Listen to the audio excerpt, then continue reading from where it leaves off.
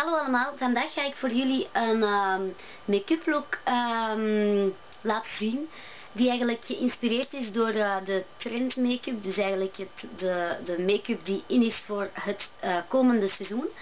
Dus dat is nu uh, herfst en winter. Um, wat ik of wat we deze winter veel kunnen verwachten is een smoky eye. komt heel veel terug. liquid eyeliner.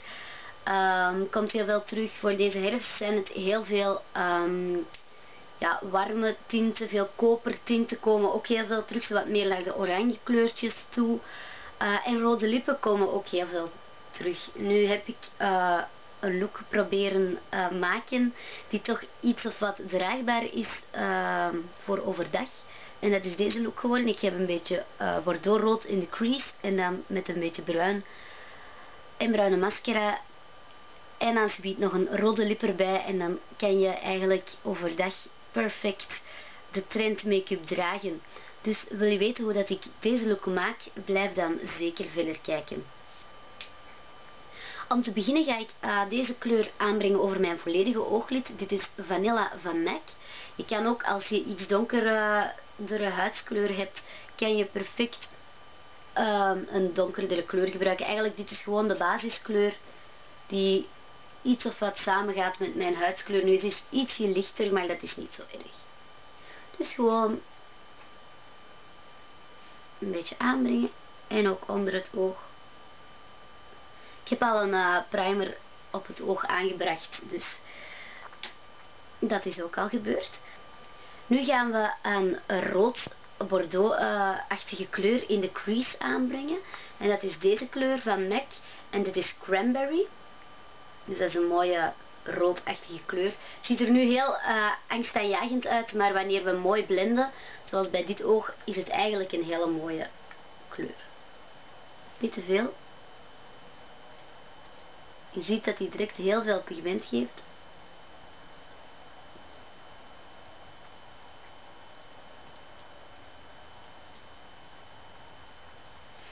Zo, dit is eigenlijk zeker genoeg. Pakken we terug onze oogschaduwborstel waar dat nog een klein beetje vanilla van MAC op zit.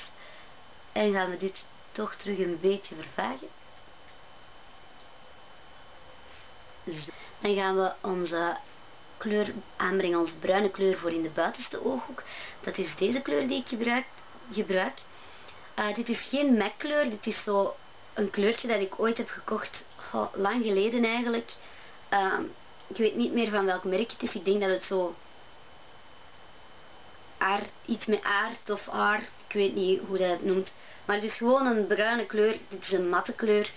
En die gaan we in onze buitenste ooghoek aanbrengen.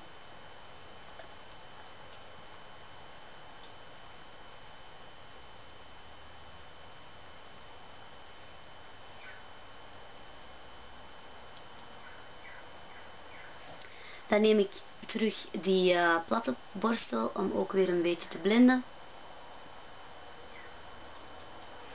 En dat was het eigenlijk alweer voor oogschaduw. Nu neem ik een bruin oogpotloodje. En ik ga mijn oog ermee linen.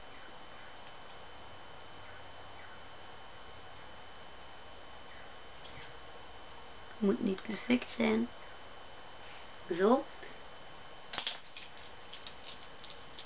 Pas zodra dat ons oog een klein beetje oogpotlood heeft gezien, gaan we terug deze bruine kleur pakken, klein beetje op het tipje van het borsteltje, om dan eigenlijk het potloodje mooi uit te blenden.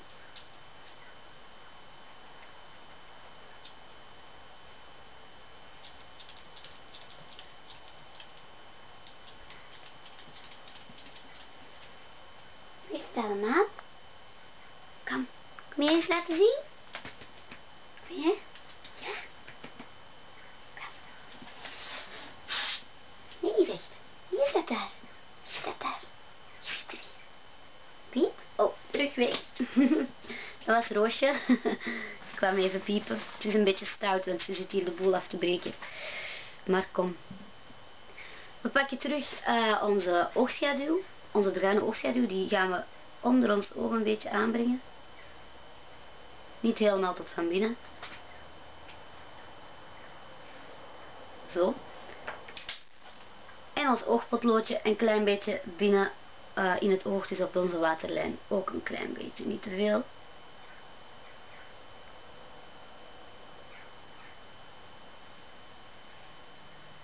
Zo. En dan gaan we nog afwerken met een laagje bruine mascara. En dan zijn we eigenlijk bijna klaar. Voor de ogen, natuurlijk nog onze lippen. Dit seizoen uh, is er eigenlijk enorm weinig blush aanwezig. Op de modellen, als er aanwezig is, is het eigenlijk enorm natuurlijk. Um, dus er wordt eigenlijk enorm weinig focus gelegd op, op de wangen. Nu raad ik toch wel aan, wanneer je foundation gebruikt, om toch een klein blushje aan te brengen.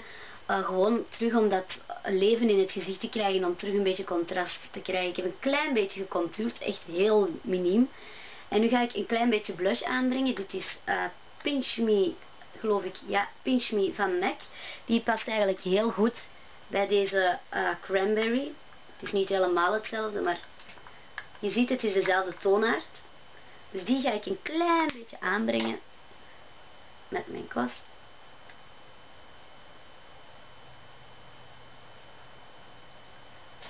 Het is een heel gepigmenteerde blush, dus je hebt maar een heel klein beetje nodig.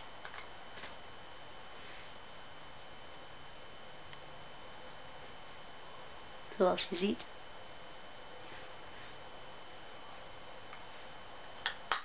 Zo. Goed, uh, nu onze rode lippen. Je kan een lipliner gebruiken. Uh, ik raad het ook wel aan om, om een lipliner te gebruiken.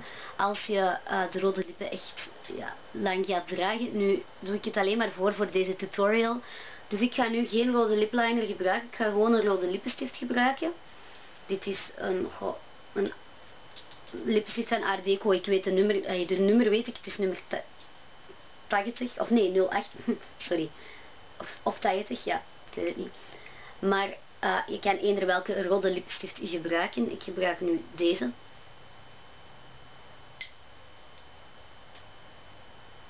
En ook best met een borsteltje aanbrengen. Zeker als je geen lipliner gebruikt.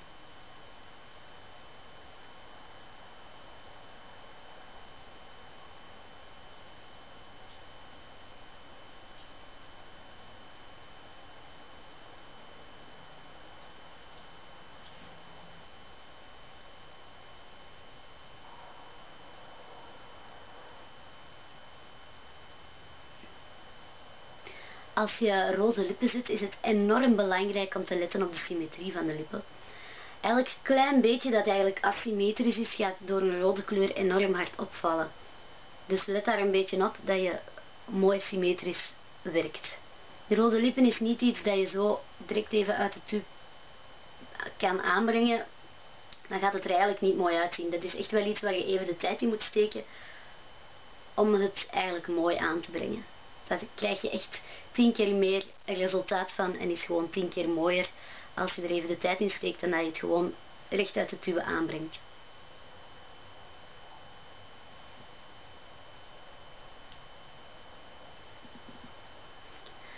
Zo, uh, dit was mijn uh, trend make-up look uh, van deze herfst. Misschien dat ik er nog wel eentje doe voor de winter, uh, wie weet.